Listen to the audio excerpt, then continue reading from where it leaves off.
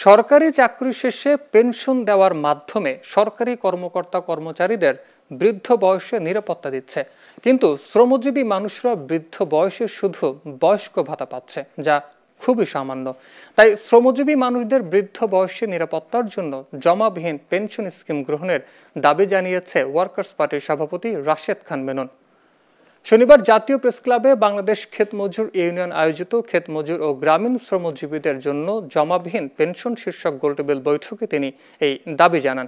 রাশেদ খান মেনন বলেন, সরকার ষাটোর্ধ ব্যক্তিদের পেনশন দেওয়ার জন্য ইউনিভার্সাল পেনশন স্কিল নামে একটি আইন সংসদে উত্থাপন করেছে। এই স্কিমে ক্ষেত মজুর ও শ্রমজীবী মানুষকে অন্তর্ভুক্ত করতে তাদের জন্য জমাবিহীন পেনশন ব্যবস্থা চালু প্রয়োজন। আলোচকরা বলেন, দেশের মোট জনগোষ্ঠীর প্রায় বাষট্টি ভাগ ভূমিহীন। পরের জমিতে কাজ করে জীবিকা নির্বাহ করেন। ক্ষেত মজুর সহ গ্রামীণ শ্রমজীবীরা ভ্যান চালানো, ইট ভাটা, ধানের চাতাল সহ গ্রামীণ জীবনযাত্রায় বিভিন্ন ক্ষেত্রে কাজ করে থাকেন।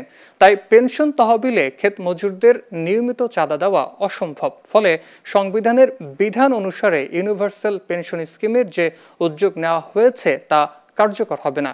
এই পেনশন এ সব জনগোষ্ঠীর ধরাছোঁয়ার বাইরে থাকবে।